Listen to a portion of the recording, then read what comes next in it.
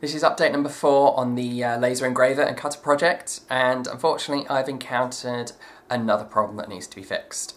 So I've received some more linear bearings today, and it's given me the opportunity to kind of properly mount and test these kind of side uh, X carriages here. The linear bearings are, um, you can just see one poking out to the sides here. These are the bit that kind of mount inside the plastic and allow it to run smoothly um, on the rails in a linear fashion, hence the name. The I tried with um, initially has kind of uh, one in each. Uh, they're small, kind of uh, 15 mil things. Let me see if I can just pull one out here. Yeah, so that's it sitting on the shaft there. It's uh, 15 millimeters long and had one of those in each block and had some kind of wobble that way, which wasn't great. So I thought a good opportunity, a uh, good uh, potential fix would just be to shove two in each. So it's not quite sized correctly, that's why it sticks out a little bit, but there's two linear bearings in each, and I've got that in both sides now, and the final set allowed me to kind of set this up. And I've been able to test something I've been slightly worried about now for a few days. I'm driving this from one side only, and I was hoping to be able to do that properly, so this uh, moves up and down, and uh, as this moves up and down the shaft here, it drags this one with it. It's uh, smooth enough to allow for that motion. Um, but I don't think it's going to work as expected.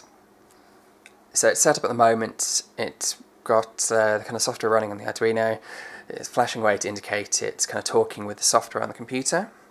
And let me just log in. And the software I'm running on the computer is there is called Universal G Code Sender. It's um, it's kind of a lightweight Java app, runs on a couple of different OSs, and it and what I'm just using at the moment is the kind of manual machine control, so I can kind of send commands in to move it. So what I'm going to do now is just send a couple of commands to shift this axis.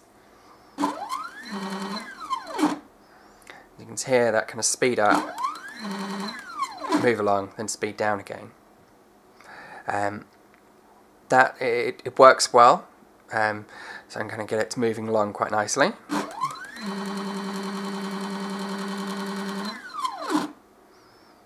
It's um, I'm quite happy with the speed. It's going to be fast enough what I need, and I can tweak that in the software anyway.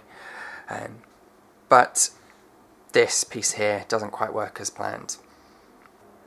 When I move the top piece here, it starts to move that way, for example, and then a short time later, this follows. It's not perfectly in sync, uh, which means there's a little kind of bit of a slip and lag here, so the position of this is not 100% repeatable. And I should be able to kind of demonstrate that now. So it moves in that direction. And if the position of this, if I start moving the opposite direction, this doesn't immediately follow can just about see the top shifting before this one does.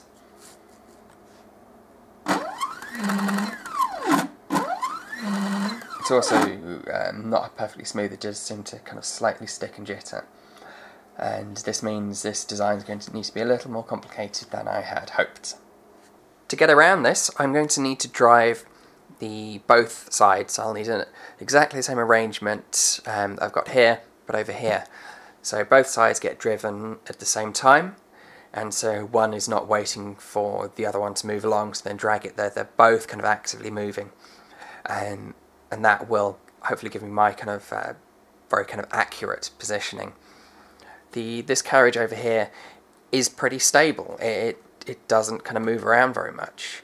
And because in addition to these the two bars and rail that's running on, it's also effectively bolted onto this shaft here, which now the motor's in place is quite solid. Um, versus this side, which certainly has a lot more kind of um, wobble and more movement in it. You just, that just doesn't happen. And uh, I think if I end up start driving it from this side, that will uh, solve that problem. Having to add this second uh, shaft along the other side is annoying. Um, I was hoping to do away with it or not need it, but uh, evidently it is necessary, certainly for kind of repeatability. And with uh, the low power laser I'm using, I'm almost certainly going to need to kind of repeat and go over patterns, so I need to be able to get back to exactly that point. Um, but I do have the kind of spare drive shaft ready for that side. Um, I need a few more bearings, uh, another kind of stepper motor obviously, and uh, kind of a few more bits and pieces, but hopefully it won't be too bad. Um, I think I can also drive it from the existing motor controller, uh, stepper driver. Um, if not, that's going to be annoying because that board is pretty much complete as it is, um, but hopefully I can kind of double them up, uh, but we'll see. Um, and the problem is now I've started thinking about uh, a different design for uh, one of these entirely, which um, hopefully won't distract me from finishing this.